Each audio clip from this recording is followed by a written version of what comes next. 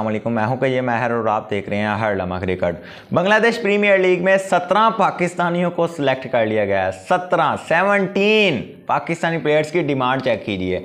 तो वो कौन कौन से प्लेयर्स किस किस टीम की तरफ़ से खेलेंगे? एक टीम में तो पाकिस्तानी सारे एंटर हो चुके हैं। उस वाले से भी हम डिस्कस करेंगे। दूसरी टॉप क्रिकेट वो ये है कि वीज़ा के जो मसाइल चल रहे थे finally finally almost almost Indian media के मुताबिक। ऑफिशियल पाकिस्तान क्रिकेट बोर्ड की जानी से कंफर्मेशन नहीं है, लेकिन इंडियन मीडिया की जानी से कंफर्मेशन है कि ऑलमोस्ट सॉल्व हो चुके हैं। पाकिस्तान का अब रवांगी का सिस्टम क्या होगा, कब पाकिस्तान टीम ट्रैवल करेगी, ये सभी चीज़ें आपके सामने रखूँगा। तीसरी खाब top cricket news Saim Ayub साहब ने पाकिस्तान क्रिकेट कमेटी की सिलेक्शन कमेटी पर दस्तक दे दी है। पाकिस्तान टीम के दरवाजों पर दस्तखत दे दी है। वर्ल्ड कप दो हज़ार चौबीस के लिए।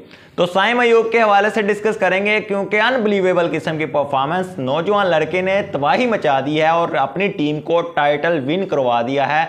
इस हवाले से भी हम डिटेल के साथ डिस्कस करेंगे और चौथा टॉपिक जो है, वो हसन अली के हवाले से है।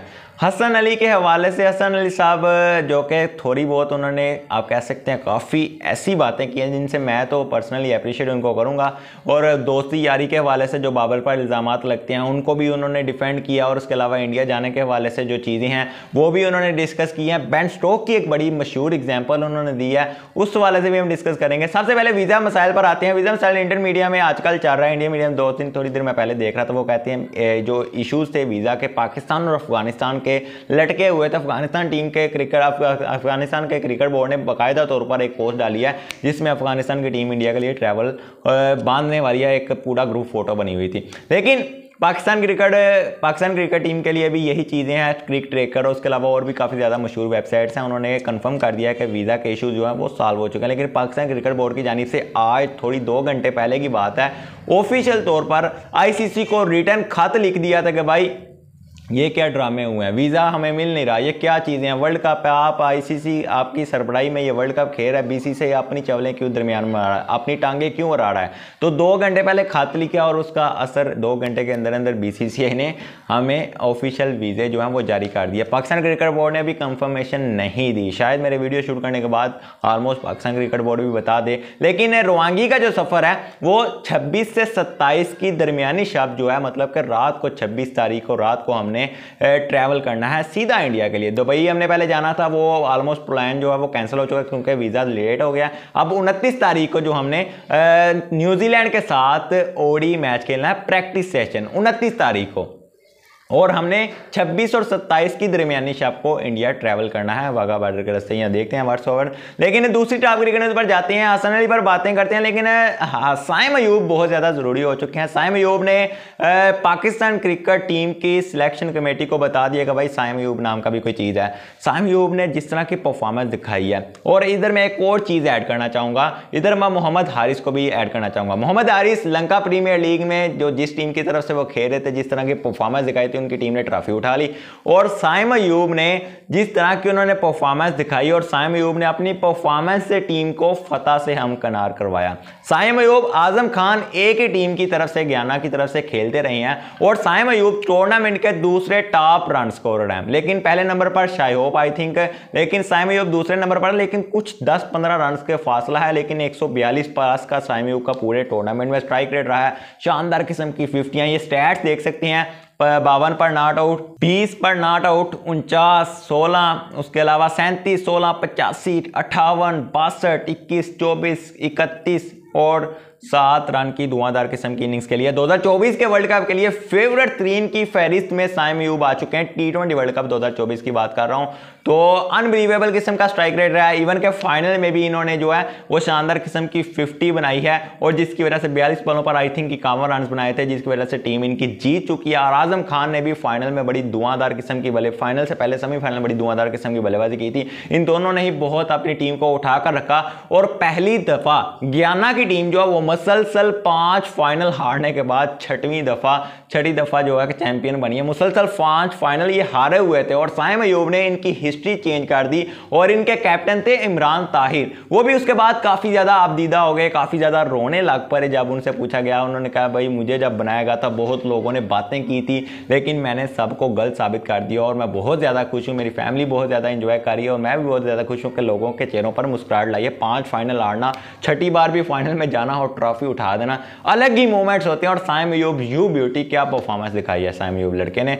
कमाल कर दिया दमाल मचा दिया। अब बात कर लेते हैं। इस वक्त हसन अली के हवाले से, उसके बाद बांग्लादेश प्रीमियर लीग में जो 17 पाकिस्तानी इंक्लूडिंग बाबर आज़म, बाकी प्लेयर्स भी शामिल हुए हैं, वो भी आपको बताता हूँ। लेकिन हसन अली के हवाले से बात कर लेते हैं। हसन अली, जो कि इन दिनों जो आप कह सकते हैं वर्ल्ड कप के स्क्वाड का हिस्सा है और काफ़ी ज़्यादा चर्चा में है, काफ़ी ज़्यादा इन पर कोई तनकीद कर रहा है, कोई कह रहा है, भाई, बड़ी अच्छी सिलेक्शन है सीनियर प्लेयर है सीनियर को सीनियर काटता है, उसको जो कहते हैं ना, लोहे को लोहा काटता है। इस तरह एक्सपीरियंस को एक्सपीरियंस काटता है, कुछ लोग इस तरह कहते हैं हसन अली के बारे में।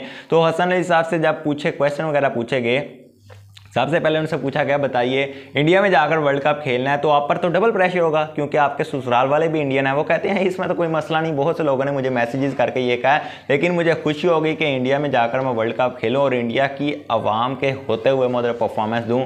तो मैं लाजमी तौर पर दूँगा। उन्होंने एक एग्ज़ाम्पल दी है बैन स्ट्रोक की, और पाकिस्तानी प्लेयर्स के साथ उन्होंने कंपैरिजन किया। बैन स्ट्रोक के बारे में उनका कहना है कि जब 2016 के वर्ल्ड कप में बैन स्ट्रोक को चार छक्के पर गए थे, कार्लुस ब्रेथवेट से। उसके बाद इंग्लैंड की क्रिकेट मैनेजमेंट इंग्लैंड के क्रिकेट बोर्ड ने उनको बैक किया था। उनको अगला मैच भी खिलाया था वर्ल्ड कप के फ़ौरन बाद। उनको मुसलसल लेकर चले थे, जिसकी वजह से वो आज इंग्लैंड के मोस्ट डिमांडिंग प्लेयर हैं।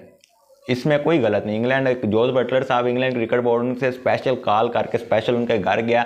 उनको कहा कि भाई आकर वर्ल्ड कप हमारा गुजार दीजिए, आपके बगैर हम जीत नहीं पाएँगे। हमारा 2019 का वर्ल्ड कप भी उन्होंने जितवाया 2000 2022 का टी ट्वेंटी वर्ल्ड कप भी बैन स्ट्रोक ने ही जितवाया है। तो जहाँ 2016 को जिस तरह फाइनल में चार छक्के खाने के बाद ऐसे प्लेयर को उठाना, लेकिन हमारा इधर नहीं होता। हसन अली वगैरह जब हसन ने कैच हो रहा था, कितना ट्रोल किया गया था? हमारे पाकिस्तान में अब एडन जंपा को उस दिन 113 रन साउथ अफ्रीकन बल्लेबाजों ने मारे थे। लेकिन अगले मैच में उनको खिलाया साउथ ऑस्ट्रेलिया ने, बाहर नहीं निकाला। अगले मैच में उन्होंने चार विकटें लेकर दिखा दी। लेकिन इधर हमारे वहाब रियाज को एक सौ दस रन पर गए थे इंग्लैंड के अगेंस्ट अगले मैच में हमने बाहर काट दिया। तो प्लेयर्स एक दिन बूढ़ा आ जाता है। यार, ये क्रिकेट में ऐसा हो जाता है, एक दिन आप छः बॉलों पर छः छक्के भी खा लेते हैं, लेकिन अगले दिन छः बॉलों पर पाँच विकटें भी आ जाती हैं, चार विकटें भी आ जाती हैं छः बॉलों पर छः भी आ जाती हैं। तो क्रिकेट में एक दिन आपका बूढ़ा चला जाता है तो उस प्लेयर को बैक करना चाहिए इंतजामिया की ज़िम्मेदारी है। लेकिन हमारे यहाँ वहाँ भी ट्रोल करने लग जाती है। तो हसन अली का ये पॉइंट बहुत ही, आप कह सकते हैं, कमाल का मैं खुद इनसे पर्सनली बहुत ज़्यादा आप कह सकते हैं एग्री करूँगा। लेकिन इधर मैं एक मज़े की चीज़ और ऐड कर दूँ। हसन अली जा हसन अली और बैन स्टोक, दोनों जब भी जितनी बार भी आमने सामने है, सिर्फ़ चौदह का एवरेज रखते हैं बैन स्टोक। हसन अली ने पाँच दफ़ा बैन स्टोक को आउट किया हुआ है, जो कि दुनिया का कोई भी क्रिकेटर कोई भी बॉलर जो है, वो बैन स्टोक को पाँच दफ़ा ओडी में आउट नहीं कर पाया। वो हसन अली ने किया हुआ है तो लेट्स सी वर्ल्ड कप में बैन स्टोक को तो हमारा हसन अली पकड़ लेगा।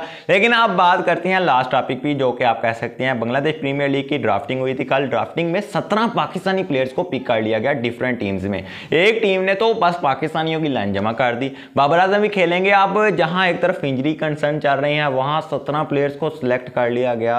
ये थोड़ा सा इश्यूज़ हैं, लेकिन पाकिस्तान क्रिकेट बोर्ड ने भी वादे कर दिया हुआ है कि सिर्फ़ साल में एक या दो लीग इससे ज़्यादा नहीं है। तो बांग्लादेश प्रीमियर लीग आप सुन लीजिए, पहला रंगापुर राइडर्स ने बाबर आज़म और एहसानुल्ला को शामिल किया खुलना टाइटन ने वसीम जोनी और जो फ़ाहिम अशरफ को शामिल किया गया।